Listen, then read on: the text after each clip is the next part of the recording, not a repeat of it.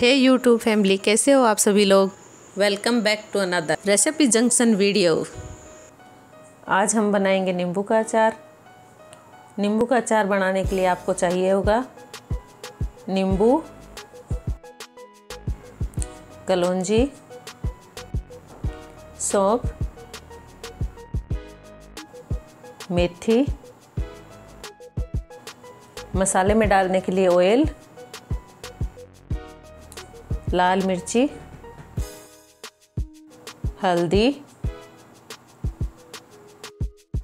स्वाद अनुसार नमक। अब हम सारे मसालों को मिक्स करेंगे। सौंफ, धनिया, वो जो भी मेथी वगैरह है, सारा इकट्ठा करके और उसको मिक्स करेंगे। चम्मच की सहायता से मिक्स कर लो। अच्छे से। कहीं भी अलग अलग ना रहे कोई भी मसाला। सौंफ, कड़ौंजी, इनसे बहुत ही अच्छी खुशबू आती है और बहुत ही अच्छा टेस्ट होता है। और अचार सालों तक ख़राब नहीं होता इससे। अब इसमें थोड़ा सा ऑयल डालेंगे। ऑयल से क्या अपना मसाला सूखा सूखा नहीं रहेगा और फफूंद नहीं लगेगी नींबू के अचार में। अब ऑयल को अच्छे से मिक्स कर देंगे इसमें और मिक्स करके और एक पेस्ट की तरह बन जाएगा ये। ड्राई ड्राई सा थोड़ा।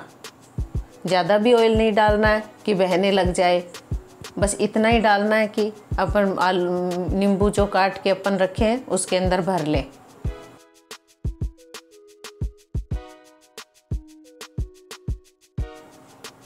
अब मसाला तैयार करके रख दिया है। अब अपन नींबू तैयार करेंगे। नींबू को आधा आधा काट लेंगे।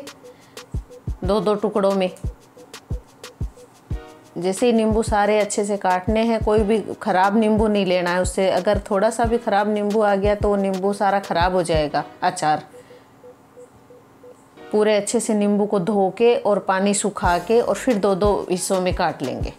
दो दो पीस करके और फिर उनके बीच में जो भी बीज होते हैं वो सारे बीज निकालने क्योंकि बीज से अचार ख़राब हो जाता है। और जो बीज निकलेंगे, उसकी जगह जो भी थोड़ा थोड़ा रस भी निकालना है और उसके अंदर अच्छे से मसाला भरना है दबा दबा के अंगूठे की सहायता से।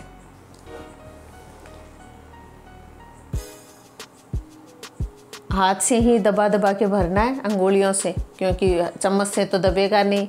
और फिर सब में अच्छे से मसाला भरना है, जो अपन ने मसाला तैयार करा था।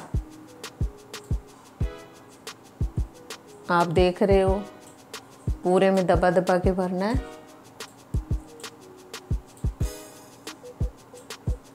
ये अचार खाने में भी बहुत अच्छा होता है और पाचन क्रिया के लिए भी बहुत अच्छा होता है।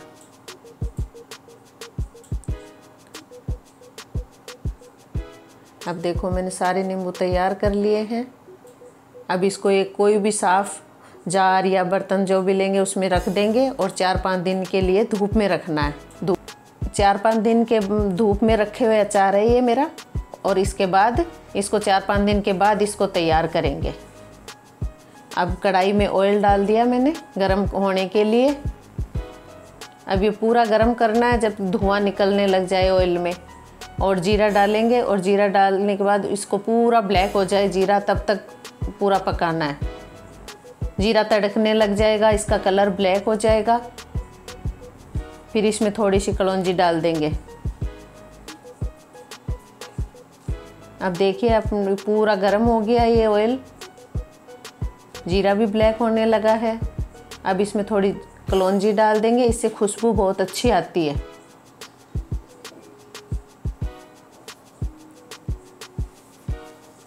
हाथों का भी ध्यान रखना है। कहीं आप उछाल, तेल उछल जाए। अब आज देखना, अचार पूरा तैयार है और ये ऑयल भी अपना ठंडा हो गया है। गरम ऑयल में नहीं डालना। जैसे अपना ऑयल गर्म हो जाए, उसको नीचे उतार लीजिए और ठंडा करके और फिर उसमें गुनगुने में डालना है।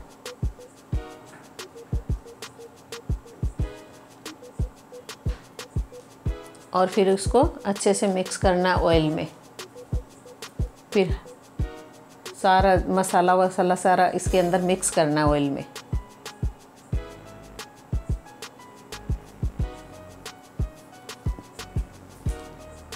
अब इसको चम्मच से पूरा मिक्स करना है। अब देख रहे हो आप कितना अच्छा लग रहा है ये।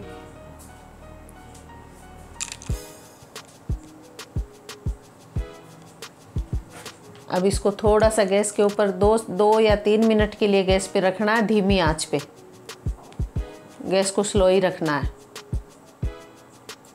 और इसको हिलाते रहना है।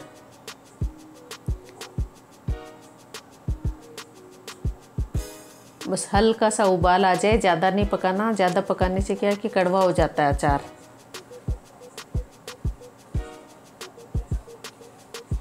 अब इसमें हल्के हल्के बबल्स उठने लगे हैं और अब ये अचार तैयार है। अब इसको अपन नीचे उतार लेंगे।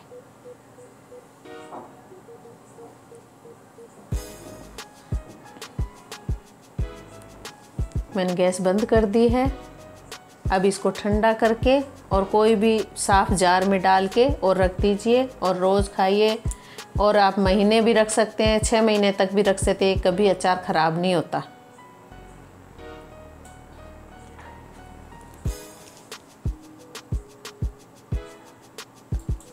अब देखो देखने में भी बहुत अच्छा है और खाने में भी उतना ही अच्छा है।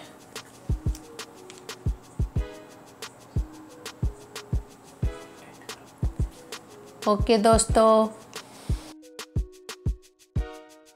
वीडियो पसंद आए तो लाइक ज़रूर करें और कमेंट्स में ज़रूर बताइएगा वीडियो कैसा लगा, क्योंकि हम हफ़्ते में तीन इससे भी ज़बरदस्त वीडियो आपके लिए लाते रहते हैं।